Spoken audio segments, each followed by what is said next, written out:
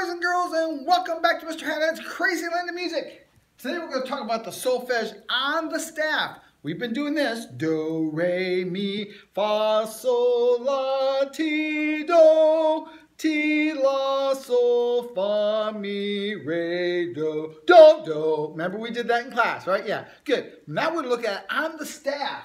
Remember we talked about the staff last time. Has the five lines and the four spaces. We talked about those letter names. Well, here it is on the staff. This is the key of C, and there's the treble clef, and there's do, re, mi, fa, sol, la, ti, do. Do, re, mi, fa, sol, la, ti, do. Now, what I want you to do is I want you to go to this website, YouTube website, and follow along with them. It's really crazy video, really kind of cool.